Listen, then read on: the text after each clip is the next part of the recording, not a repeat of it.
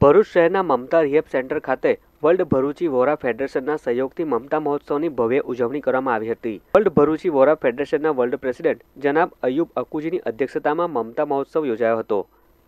Pushpa ઇમ્પોસિબલના actor અને આ બાળકો પૈકી ઉદાહરણરૂપ એવા હંસ એસ્લોટ, ઉર્ફે ગોલુ અને તેમના માતા પિતા પણ વિશેષ ઉપસ્થિત રહ્યા હતા.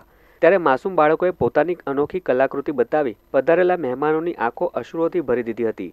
મહોત્સવમાં મુખ્ય મહેમાન તરીકે નેહલ ગઢવી હાજર રહ્યા હતા.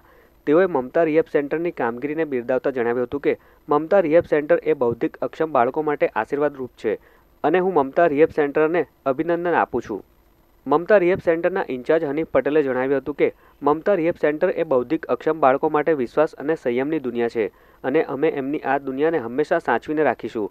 મમતા મહોત્સવમાં મમતા રિહેબ સેન્ટરના એડવાઇઝરી સમિતિના સભ્યો મેઘના જોશી, ચેતના દેસાઈ અને યેશા શેઠ સહિત મોટી સંખ્યામાં આમંત્રિત મહેમાનો અને બાળકોના માતા પિતા ઉપસ્થિત રહ્યા હતા.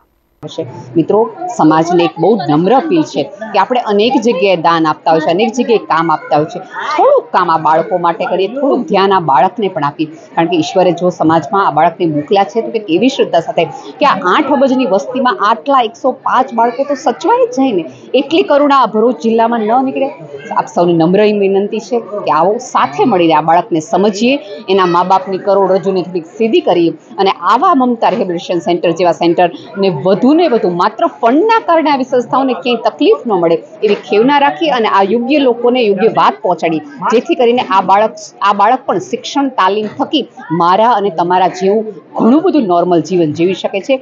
ક્ષમતા તો એની પાસે છે, પાક તો છે, સમાજે માત્ર આકાશ ને અવકાશ આપવાની જરૂર છે. આ પ્રોગ્રામમાં અમારા વર્લ્ડ પ્રેસિડેન્ટ અને અમારા ડાયરેક્ટરો પણ હાજર હતા અને મમતા રિયાબ સેન્ટરના બાળકોએ કરેલું પરફોર્મન્સ સૌએ નિહાળ્યું.